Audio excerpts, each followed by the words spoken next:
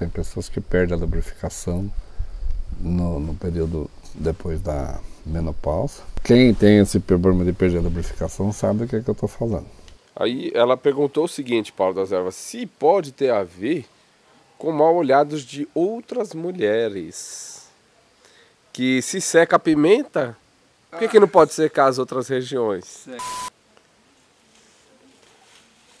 Ô Paulo das Ervas, o que, que você está mexendo aí?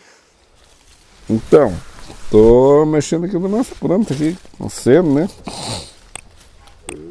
A gente fez um, uma jardinagem aqui e estamos vendo como é que é. a terra já está reagindo, né?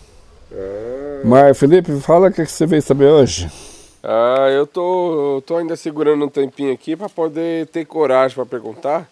Ah, na verdade eu até, até tenho o Paulo das Ervas, mas é que a mulherada fala assim que eu tenho coragem de perguntar cada coisa para você, Paulo das Ervas. É. E eu tenho uma das, umas perguntas dessas aí. O nome da Mega Sena não adianta perguntar que eu não sei. É. Mas ó, o Paulo das Ervas, não, mas eu não tenho problema não. É que ó, a mulherada fica falando, nossa, você tem, você tem coragem? É, pergunta veio a gente só faz. Então, ô Paulo das Ervas, veio uma pergunta um pouquinho diferente. O pessoal falou que gosta das perguntas diferentes. É, você tá com mania de muita pergunta diferente. Você tá me assustando essas perguntas suas. É. A, a, a, mulherada falou, a pessoa que falou, falou que era para mim falar que era a mulherada que tá falando. Não, tá não é ela não, é a mulherada.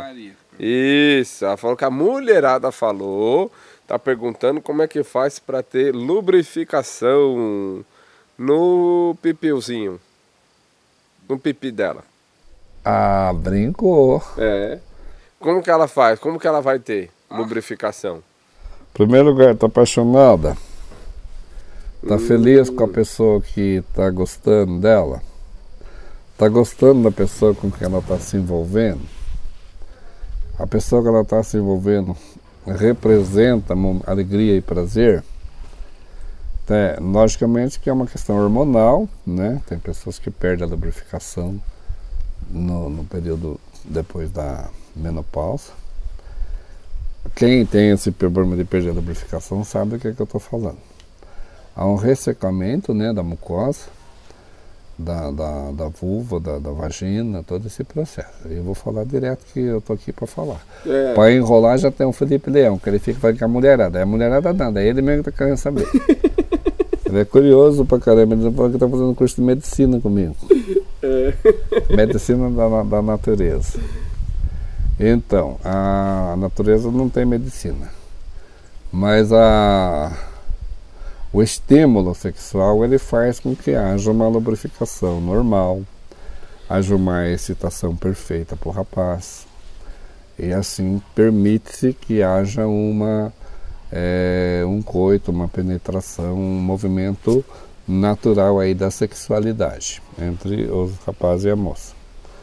É, normalmente quando a mulher passa por algumas dificuldades, alguns traumas, medo, depressão, é, câncer, é, tem trocentas situações que ocorrem que faz com que ela perca essa lubrificação. O que, que você pode usar para isso? Algumas mulheres usam óleo de amêndoa, óleo de rosa, creme, é, uma série de coisas.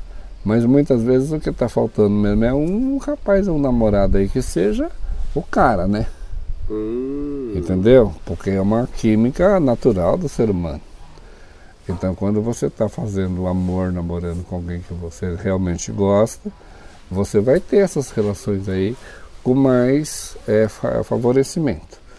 Quando você está fazendo uma questão por questão é, psicológica, por questão de, de, manter as aparências do relacionamento. Não tá lá aquela grande coisa, mas eu tenho que estar tá bonitinha do lado do meu marido. Obviamente você não vai ter essa lubrificação. Ah. Daí dói, machuca, prejudica. Hum. Entendeu? E quando tá tudo bem lubrificadinho, uma boa preliminar, né? Hum. Eu tava falando pro Felipe com umas boas linguadas aí ajuda. É, é, sem vergonha, fica perguntando as coisas pra mim, eu respondo tá? Um toque mais carinhoso, uma permissibilidade maior, né? Porque muitas vezes a criançada foi educada que o, o sexo era uma coisa não prazerosa, era uma coisa é, suja e que era uma coisa que servia apenas para o princípio da procriação, de produzir filhos. Depois, conforme que as mulheres foram buscando autonomia, foram buscando liberdade, liberdade foram quebrando os tabus, descobriu-se que o sexo poderia ser um momento de prazer entre duas pessoas. Hum. É, e hoje, quando né, a gente está já com essas. Você fica perguntando Felipe Leão essas coisas, mulherada. Gente! Né? Quando você fica perguntando isso para Felipe Leão, ele vem todo sem graça. Ai, São Paulo, você perguntar para o senhor. Bom, eu acho que o que acontece, o que está havendo no momento presente, é que tanto o rapaz quanto a mulher tem um milhão de atividades Chega na hora de ir pra cama para ir namorar, para ir se curtir. Tá cansado, tá estressado, tá com sono, daí acontece todo esse processo, né? De não estar tá a lubrificação. Alimentos que ajudam a aumentar a lubrificação. Ah, tem, é. Olha. Olha, gente, clara de ovo. Clara de ovo, alho poró, batata inglesa, que mais? Amendoim, tudo isso daí que tem bastante oleaginosa, né? é, ela vai aumentar essa lubrificação. Hum. Tá bom? Aí ela perguntou o seguinte, Paulo das Ervas, se pode ter a ver com mal olhados de outras mulheres. Que se seca a pimenta, por que, que não pode secar as outras regiões? Seca pimenta e seca outras coisas também. Seca é assim. É mesmo? Existe um sentimento muito terrível entre os seres humanos, assim, você não deu certo o seu relacionamento com uma determinada pessoa, a pessoa rompe o relacionamento e diz para outra, você não vai ser feliz com mais ninguém. Eita. A pessoa que escuta isso acredita como verdade e daí vem essas dificuldades, né? logicamente, para dificultar o relacionamento. Ah, o Paulo das Entendeu? Então, o, Felipe, o Felipe é do candomblé, escuta isso com frequência. Mas eu acho que calhou então, viu, Paulo das Ervas, porque ela falou o seguinte, que agora ela não está mais com uma pessoa que ela estava, e agora ela decidiu se cuidar. Então ela foi na academia e está se cuidando do corpo e tal. Mas ela achou que eram os olhares da outras mulheres. Não, isso é bobagem. Nem precisa disso. Então não é isso. Pode ser então essa questão de que a pessoa se separou e falou assim: ah, você não vai ser feliz comigo, você não vai ser feliz com mais ninguém.